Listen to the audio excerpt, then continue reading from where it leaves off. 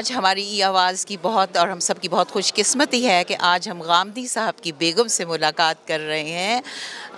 آپ ہمیں اپنا نام بتائیں گی؟ شاہین شاہین جاوید۔ شاہین جاوید بہت پیارا نام ہے آپ کا۔ ہم آپ سے غامدی صاحب کے بارے میں پوچھیں گے آپ نے ان کے ساتھ اتنے سال گزارے ہیں کیسا پایا؟ جی بہت ہی اچھی ہے بہت ہی ہمدرد بہت ہی کیئرنگ بہت ہی زیادہ میں تو دعا کرتی ہوں کہ اللہ میاں بچیوں کو ایسے ہی شوہر دیں۔ بہت اچھا وقت ہمارا گزرا بچوں کے ساتھ سسرال والوں کے ساتھ۔ مطلب کبھی محسوس نہیں ہوا کہ دوسرے گھر میں آئے ہیں یا کچھ ہے۔ کتنے سال گزارے ہیں؟ جی میرا خیال ہے فورٹی۔ فورٹی ایئرس ماشاء اللہ ماشاء اللہ ماشاء اللہ کیا غامدی صاحب کو کبھی غصہ آتا ہے؟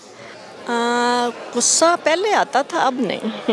اب تو بہت بہتر ہے۔ پہلے شروع میں تھوڑا جوانی میں تھوڑا سا ہوتا تھا لیکن اس طرح نہیں کہ ہر وقت ڈانٹ ڈپٹ یا کچھ نہیں۔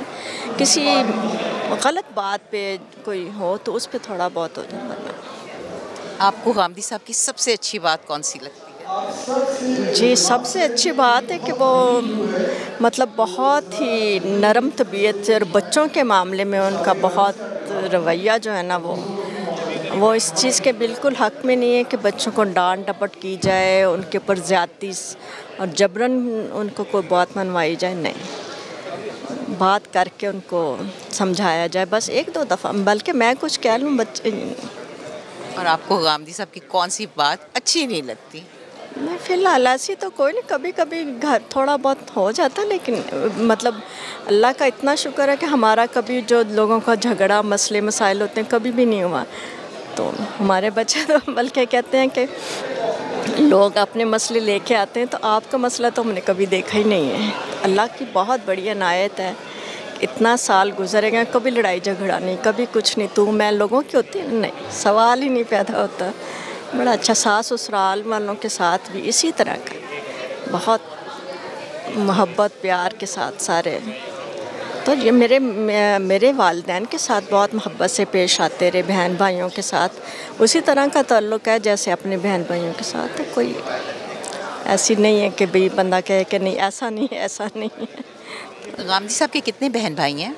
جی یہ ایک ہی بھائی ہیں اور دو بہنیں تھیں جو انتقال کر چکی ہیں۔ بہنیں بڑی تھیں ان کے بچے تقریباً ان کے برابر تھے۔ تو بس یہ سب سے کافی چھوٹے تھے بہنوں سے۔ اور ماشاء اللہ آپ کے کتنے بچے ہیں؟ جی میرے ماشاء اللہ چار بچے ہیں تین بیٹے اور ایک بیٹی۔ بڑے والے بیٹے جو ہیں وہ لاہور میں المورد جو ہے وہ چلا رہے ہیں جواد ہے ان کا نام۔